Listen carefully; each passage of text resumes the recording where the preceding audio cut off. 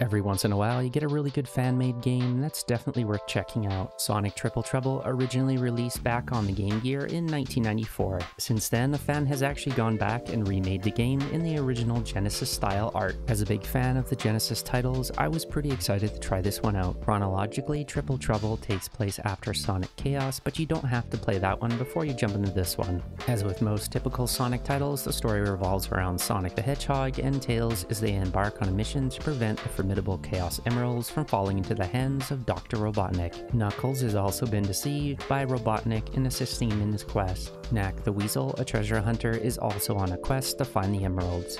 I've been hearing a lot of good things about this fan-made remake, so let's take a look at it. As of recording this video, a couple days after it came out, you can see he's already occurred over 700,000 views on his project. From the screenshots alone, you can tell a lot of love and care was put into the development of this title. Shockingly enough, the entire title was rebuilt from scratch using GameMaker Studio. Overall, from these screenshots, I think the game looks absolutely fantastic. It definitely looks like it was professionally designed. The game is also free to download and you can install it on Windows, Android, or Mac. I'm definitely going to install the Windows version on my Ayaneo Air and I'm going to put that Android version on my Retroid Pocket Flip. Triple Trouble 16-bit also has a lot of extra features that weren't in the original. You can tell that he was really going for a polished release like Sonic Mania. If you grew up playing the original Sonic titles on the Genesis, I think you're going to absolutely have a ton of fun with this game. The fact that he managed to jam all these cool features into a Game Maker Studio game is absolutely amazing. That's enough about the game though, let's download it and take a look and see how it is.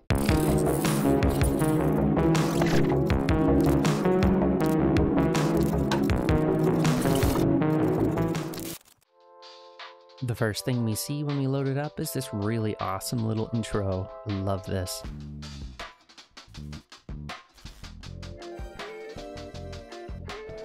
Just a heads up, this is the Android version, so let's start a new story mode, and I'm going to start a new one here. I had a previous save, but I didn't get very far. I have to say though, this pixel art is definitely stealing the show. Everything down from springs to picking up Sonic as Tails. All the original mechanics from the first games that we know and love. I have to say though, I definitely didn't expect going supersonic on this first boss. Obviously this isn't going to take very long. A few moments later.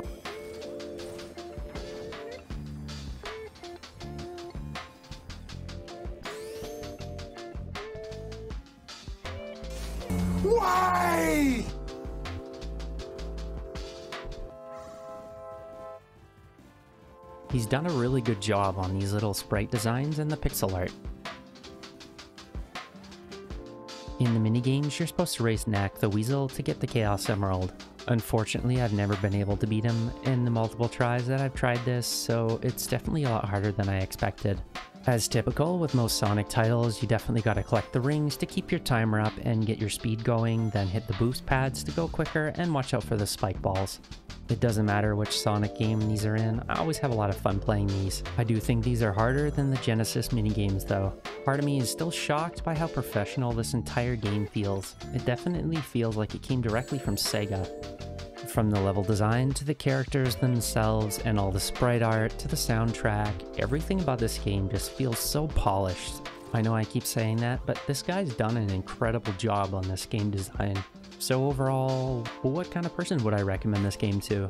Well, I definitely wouldn't recommend it to your average Sonic fan. This is definitely a Sonic game for the people that grew up playing the original Sonic titles on Genesis.